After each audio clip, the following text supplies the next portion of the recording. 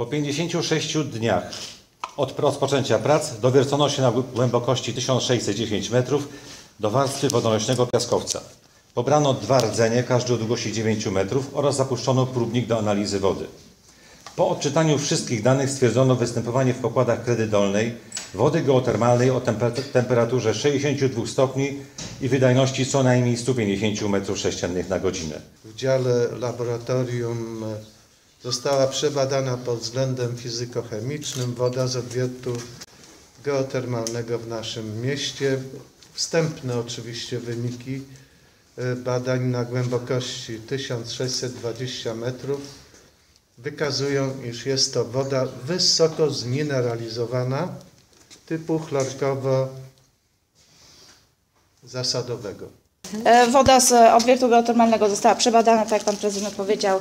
E, Skład jest bardzo bogaty. E, Jest to, no, można powiedzieć, e, dosyć e, bardzo dobre źródło, e, jeżeli chodzi o solanki, dlatego że skład jest bardzo podobny do wód, e, które są wykorzystywane do celów leczniczych. W Uniowie na głębokości 2200 metrów temperatura, temperatura wody wynosi 68 stopni.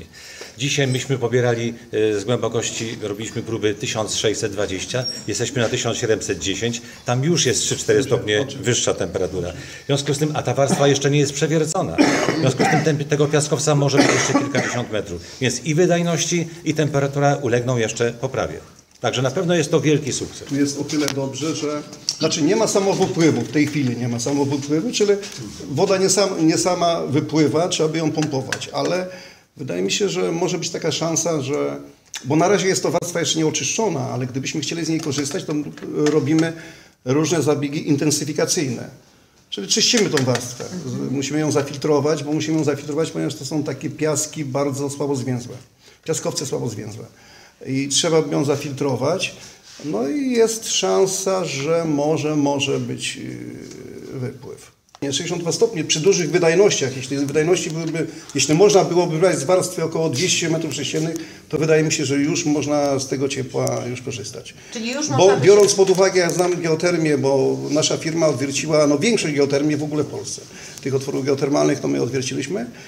I znając e, warunki kilku geotermii, e, to już przy temperaturze ponad 60 stopni ogrzewają po prostu miasto czy szpitale i tak.